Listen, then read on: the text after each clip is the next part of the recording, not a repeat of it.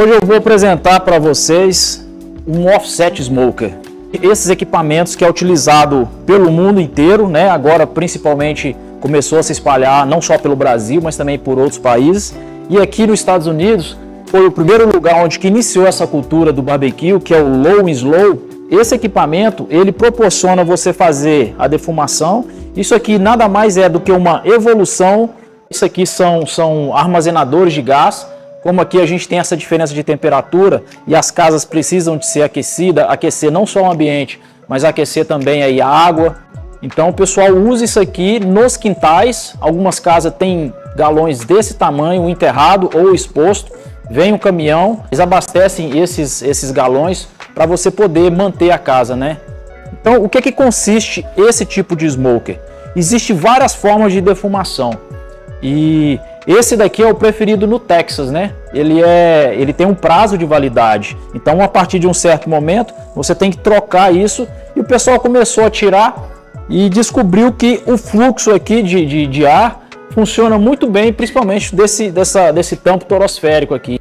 Firebox, né, que é a caixa de fogo, câmara de defumação, ou em inglês chama uh, cook chamber, e aqui atrás a gente tem o terceiro elemento fundamental aí para o funcionamento do smoker, que é a, que é a smokestack, ou a chaminé. Como é que funciona tudo isso aqui? Ele é alimentado com lenha. Você utiliza lenha aqui dentro, né? Você insere lenha aqui dentro, inicia o fogo. Quando o fogo começa a aquecer, a tendência do ar quente é subir. Ar entra quente, o ar né, passa junto com o fogo, sai junto com o fogo com a fumaça. Aqui ele vai rodando e ele vai sair lá em cima e esse ciclo continua contínuo enquanto você tiver fogo aqui. Então, offset, basicamente três elementos: firebox, câmara de defumação e chaminé. O smoker offset ele é formado de três elementos principais: a firebox, a câmara de defumação e a chaminé. Vou mostrar para vocês agora como funciona a firebox. Aqui você tem esse handle ou esse pegador que você consegue abrir ou fechar, né? Quando você abre ou fecha, você está permitindo que o ar entre, né? Obviamente aqui você tem uma porta que você utiliza. É importante você ter um bom acesso para você manusear e inserir aqui o seu a sua lenha, né? Então essa grade aqui, ela permite que o ar entra por aqui e atravesse para dentro do calor, proporcionando aí um melhor fluxo de ar, né? Então essa é uma caixa, essa é uma firebox que ela é, se você olhar aqui a, diferença da espessura, existe uma parede externa e uma parede interna. Esse vazio que dá aqui, automaticamente ele já proporciona aí um isolamento térmico que ajuda muito na eficiência da firebox. Então aqui a gente tem uma parte que é um controle fundamental para o fluxo de ar que é justamente esse controle de abertura. Quando você fecha aqui, você está impedindo que o ar entre. Como o ar não está entrando e o ar alimenta o fogo, quando você fecha aqui, você não vai ter ar entrando e a tendência é o fogo se extinguir. Então, se manter fechado, ele vai apagar em breve. Essa abertura aqui você consegue controlar a entrada de ar automaticamente você controla o fluxo. Você tem o um controle de entrada de ar aqui e lá na chaminé você tem o controle de saída do ar, né? Então, da mesma forma, se eu fechar lá, ah, eu vou estar tá interrompendo o fluxo e o ar que entra aqui, ele não vai ter como atravessar para sair lá. Ou seja, vai chegar uma hora que esse fogo também vai diminuir.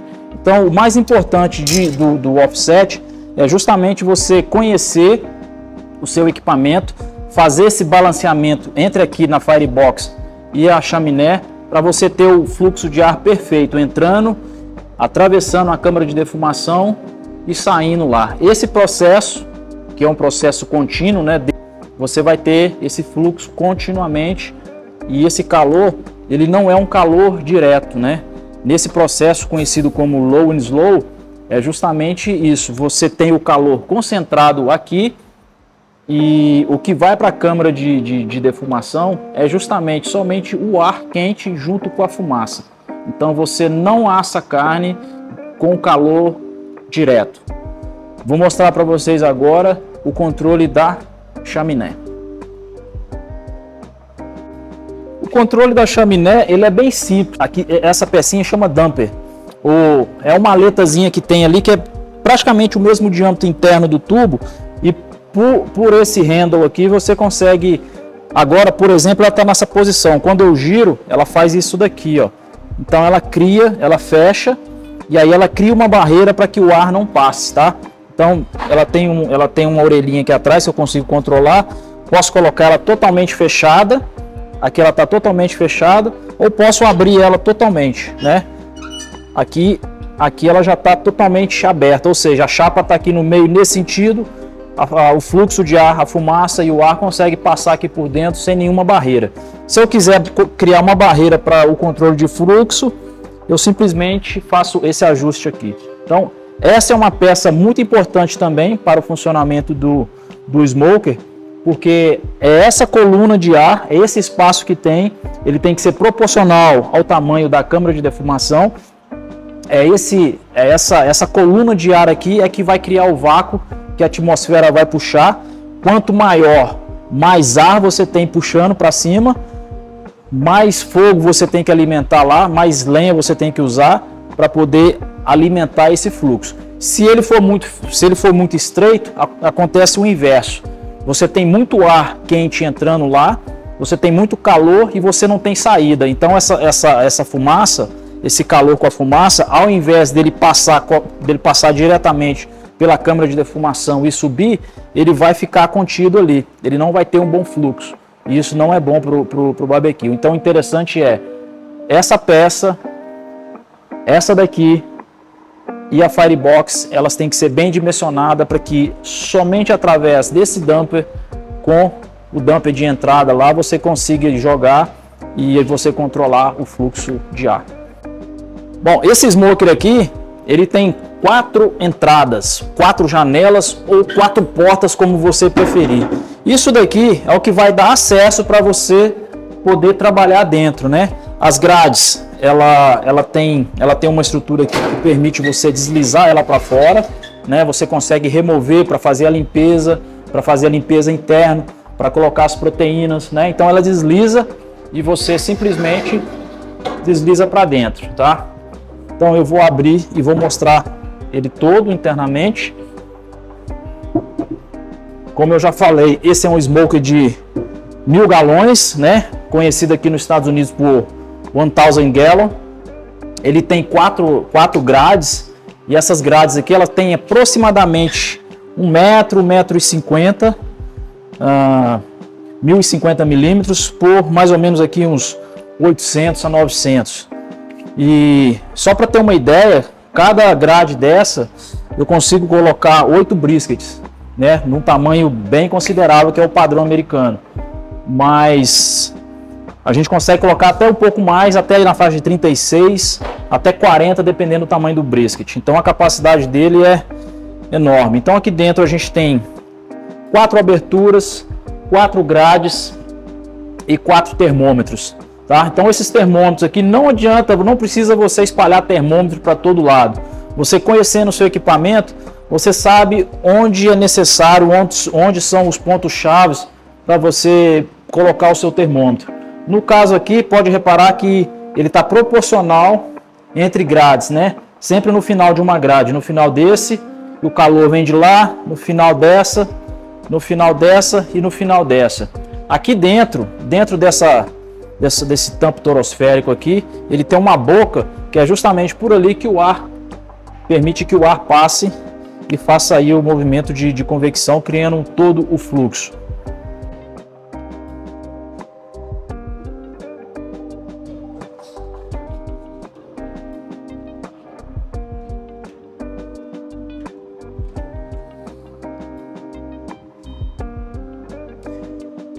Aqui dentro, pessoal, a gente tem um elemento muito importante que é essa, esse recipiente com água, tá? Isso daqui ajuda esse recipiente com água, ele ajuda a segurar um pouco a temperatura que sai daqui, uma vez que todo o calor é gerado através aqui da saída da Firebox, então ela atravessa por aqui, bate por aqui, já dá uma, já dá uma maneirada, já dá uma esfriada, e esse calor que bate e aquece aqui, ele ajuda a umidificar o ambiente e torna aí essa a sua defumação, vai tornar a sua defumação é, bem melhor.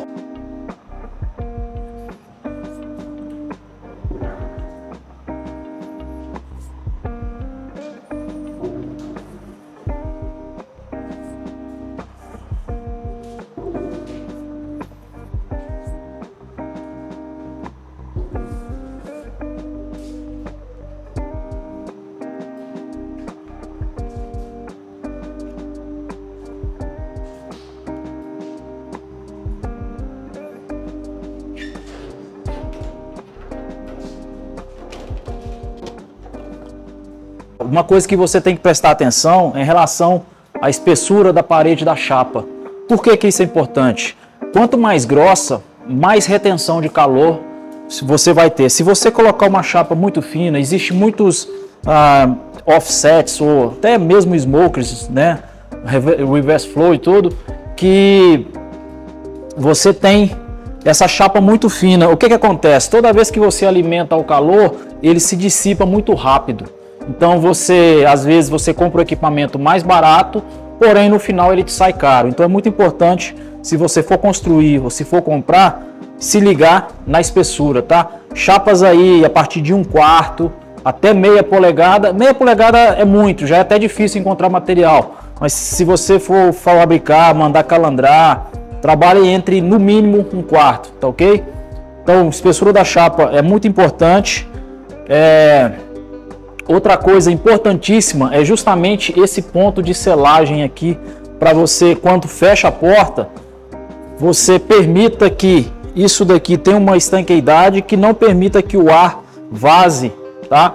Pelas, pelas laterais. Se você vê um smoker vazando por aqui, por aqui ou por baixo, você pode ter certeza que ele não foi bem feito, tá? A chapa pode ser muito fina, quando ela esquenta, ela deforma, mais um motivo para você trabalhar com chapas mais grossas e ter certeza que aqui você tem uma selagem perfeita para não perder fumaça e não perder calor por esse ponto. O, o handle, o, esse, esse puxador, o pessoal às vezes coloca ele é, rotativo, não tem necessidade, tá? Ele é, esse daqui no caso é de inox, né? Ele está conectado, soldado aqui duas peças de aço carbono mesmo. E isso daqui é o suficiente para você segurar aqui com a, com a mão. Eu uso o paninho principalmente quando está quente. Aqui é frio, mas aqui é um pouco quente. Então eu só apoio aqui para poder levantar ele e não queimar minha mão. Além do mais, né, como, se, como é a parte interna, costuma ele ficar bem, bem gorduroso aqui. Pode ver que ele está preto, mas ele não está... Eu lavei ele há poucos dias, então ele não está ele não está com gordura acumulada aqui, tá? Então, o importante, você ter essa selagem aqui, certo? A chapa ser, ser espessa. O material também das grades, né? As grades são deslizantes. Esse material é importante também ele ter uma boa espessura, porque você vai ter contato com, com, com sal, né? E o sal é corrosivo.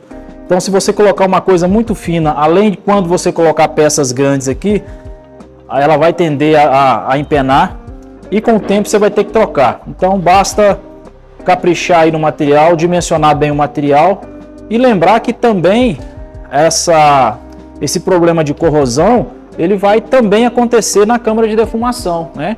Com o tempo, toda essa, essa gordura junto com, com, com esse tempero que for caindo junto com sal, ele vai corroer a parte de baixo. Então a vida útil do seu equipamento vai ser também diminuída se você não tiver uma boa espessura. Pontos importantes: termômetro. Ter bom termômetro. Não adianta você espalhar termômetro em cima e embaixo para todos os lados, tá? Aqui você tem a saída, o fogo é feito aqui na, na, na Firebox, ele sai daqui, ele bate na defletora, na defletora. Essa caixa com água, ela vai esse recipiente com água, ele vai diminuir um pouco o calor e vai trazer mais umidade, né? Então ele bate aqui, continua, ou seja, Aqui você não tem necessidade de medir, porque se você colocar um termômetro aqui bem na saída, você vai queimar ele ou ele vai trabalhar sempre mais quente do que os outros. Como você não vai defumar nada aqui próximo, então é desnecessário colocar um aqui. Você coloca sempre aqui na frente, né? Sempre próximo dos racks que você tiver. Repara que aqui a gente tem quatro e os termômetros estão no final. Um aqui, no final desse, no final desse e no final desse.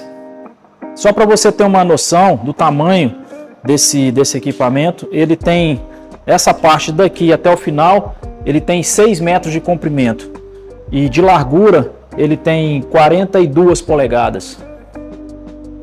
Ah, existe fabricantes ou existe o próprio cliente, ele pede para colocar um outro rack aqui em cima, tá? Até um outro rack aqui em cima, um outro nível, daria certo, ficaria bom também. Porém, você só teria que ter a, o cuidado de quando colocar as proteínas, não caia sobre a outra e também não se misture. Ou seja, se você colocar frango em cima e brisket embaixo, o frango vai derreter né, e vai cair em cima do brisket. Você não vai querer um brisket com gosto de frango. Então é importante você ter esse cuidado. Aqui o pessoal optou por trabalhar dessa forma porque pela capacidade já é o suficiente para você fazer um ciclo, né? Se você quiser defumar aqui 36 brisket, você consegue, 32 até 40, você consegue defumar de uma vez só. Então é desnecessário, no caso aqui da Smokehouse, você tem, ter dois níveis aqui. Outro ponto importantíssimo são os drenos, tá? Ele tem um aqui no, no, no meio, um no final, um no meio e outro lá no começo. Quando a gordura do processo cair lá dentro, ela vai escorrer e embaixo você vai ter um coletor, evitar que essa gordura chegue até a firebox. Porque se a gordura chegar na firebox, você vai causar um incêndio no seu smoker, tá? Você vai ter fogo. Já vi vários pits aí ah, queimando. Então é importante você ter pelo menos três drenos para drenar a gordura e você não ter essa gordura acumulada ali. Então aqui a gente tem o recipiente com, com água, né? Ali atrás a gente tem a placa defletora, que é a que vai segurar para o calor não passar diretamente para dentro da câmara de defumação, né? E aí você tem as grades. No final, aqui está bem iluminado, você tem a abertura que é para saída de ar. Então, através dali é que o ar passa e pelo sistema de convecção ele é sugado e jogado lá para cima, né? E na parte de baixo a gente tem ali os drenos, repara que tem uma válvula, você pode trabalhar com ela aberta ou fechada. Se você for lavar ou se você não quer usar, se não tiver uma, um recipiente para segurar, você pode deixar ele fechado. Né? Repara que estão todos abertos. E aqui, justamente como o piso ele é desnivelado, então a, o fluxo facilita um pouco tá? Na posição que ele fica, ajuda um pouquinho na, na, na convecção, então ele sobe de forma mais aerodinâmica e ajuda aí para a drenagem do, do líquido que é formado aí pela, pelo processo de cocção, tá? Então aqui tá dumper. Essa é a caixa que coleta a fumaça para poder subir ali, você vê o dumper. E aqui no caso da Smoke House, ele é, como ele é fechado, ele tem esse sistema aqui que joga lá para cima do lá para cima da do telhado, tá? Mas se for para trabalhar externo, então você não tem essa necessidade. Então tá aí. Esse é um deles. Aqui na Smoke House a gente tem seis. Bom, é isso aí. Esse submarino aqui está aceso. A temperatura dele já está estável. Então de quebra eu vou mostrar para vocês aqui Vou abrir um pouco e vou colocar alguns brisket aqui, tá? Vamos iniciar o processo do brisket agora. Então é importante, como eu já falei, da espessura. Aqui você pode deslizar a grade um pouco, né? E aí você pega esses monstros aqui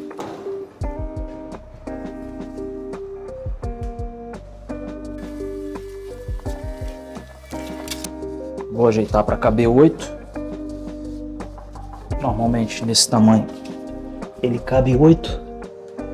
Então vou manter o 8. Ainda assim, eles têm uma uma distância, um espaço entre eles, né? Tudo isso aí faz parte da técnica de defumação, principalmente do brisket, que é o mais entre aspas, o mais complicado, né? Ele exige certos cuidados. Então, tá aqui. Carreguei oito nesse daqui. Agora vou colocar mais o restante que eu tenho nesse de cá.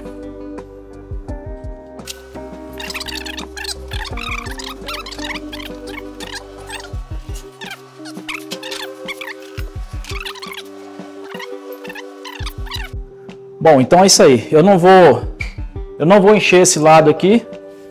Eu não vou encher essa porta, vou deixar ela vazia, mas eu poderia usar ela para colocar a costelinha aqui. Eu tenho costelinha para colocar, mas vou colocar no outro. E poderia usar essa também. O lado de lá, o final dele eu acho melhor. Então aqui a gente tem aí os, os brisket, você vê a fumaça. Deixa eu mostrar para vocês ali a fumaça, como que ela trabalha. Vamos chegar mais perto. E aí tá a fumacinha saindo. Repara que ela tá bem clara, né? Ela não é aquela fumaça carregada. E aí tá os brisket. Então a fumaça vai percorrer quando eu fechar e vai sair lá naquela naquela abertura. Ok? Vou começar fechando por lá, que aí você namora mais um pouco a fumaça por aí.